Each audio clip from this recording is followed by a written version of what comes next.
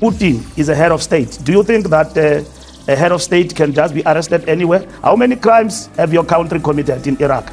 How many crimes have everyone else who's so vocal today committed in Iraq and Afghanistan? Have you arrested them? смешно. Дай вам Бог здоровья, потому что уже конец рабочего дня. Africa is on strike. Investors now are very negatively disposed to this country. They've lost faith and they've lost trust. For outside investors, they look at the foreign policy, diplomatic orientation of South Africa. They see that right now you are locked in a tense dispute with the United States because the US sees you as deeply sympathetic to Vladimir Putin's Russia, despite the Russian all out invasion of Ukraine. We have explained those issues. Our government is dealing with those matters with the United States of America. We are not locked in any dispute of any form.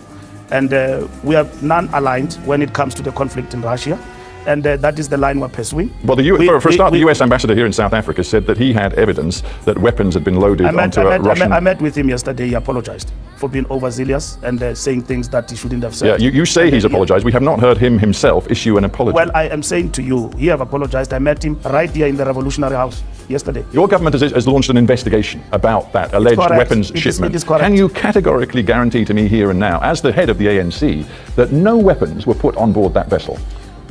Our government has reassured the ANC that there is nothing to the to the truth about weapons uh, being exchanged between our countries. I, I phrased my question carefully. Can you now categorically say no weapons? Am, Isn't she amazing? Oof. Put on board I, that I, Russian ship. I, have explained uh, to you that uh, there is a, a, a action that has been taken by our government in terms of investigating. South Africa is a, a, treaty member of the International Criminal Court. If Putin comes here in August as planned, your government will be obliged to arrest him. As head of the ANC, do you believe your government should and indeed will arrest if Vladimir Putin? If it was Putin? according to the ANC, we will want President Putin to be here even tomorrow. You would? To come to come to come to our country. But you... в принципе, уже спать пора.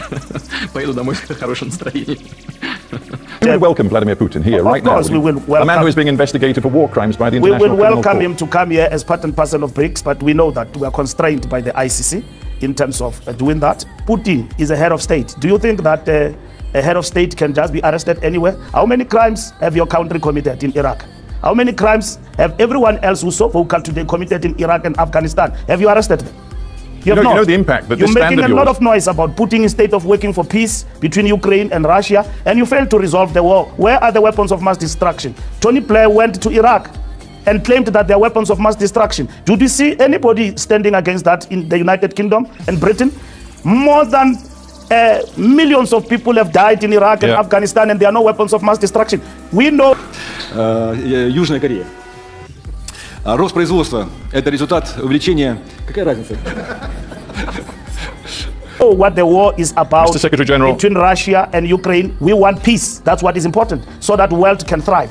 And organs and institutions of the world that institute world peace must not be conspicuous by their silence in deciding right. decisively. We, we, we don't have much time left. I, just want, I want to bring it back to uh, domestic South African politics before we end.